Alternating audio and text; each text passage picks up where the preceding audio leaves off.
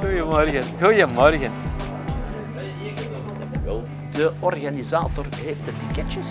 Voilà, dan zijn we vertrokken. Herstel het oude museum in al zijn glorie. En daar zitten dan die mannen gecentreerd rond die figuur in het midden met zijn zwarte hoed, Pieter Paul Rubens. En zo begint Aardappelplant zijn veroveringstocht doorheen Europa, dankzij Teresa van Avila met een scalpelletje en een microscoop. Hè?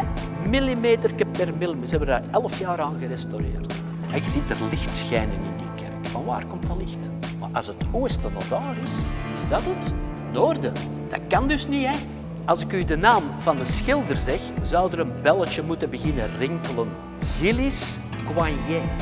De sater bij de Romeinen was de reïncarnatie van het slechte in de mens. Alles wat er slecht was aan de mens zat in die sater.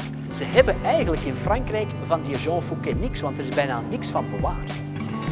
Dat de Franse staat gigantisch veel geld wil geven, dan word ik de gommende gids, een nieuwe Susken en Wisk. Wat Ensor heeft gedaan voor Vlaanderen, doet op hetzelfde moment in Nederland Van Gogh, in Spanje Picasso en in Frankrijk Manet en Monet. Kende dat? Hè? Ja, ik heb hem mee. Hè. Wat is conflict painting? De kunstenaar heet Boy en Erik Stappaert. Kleuren die bij elkaar horen en die confronteert hij dan met andere kleuren. Dat is daar kolossaal neergezet. Dat is echt vorm.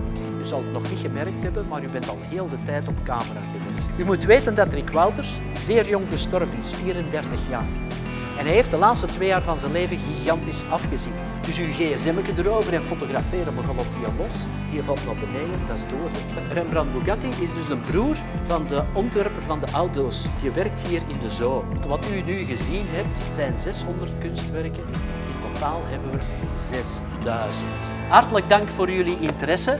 En ik hoop dat je er iets aan gehad hebt. Hè.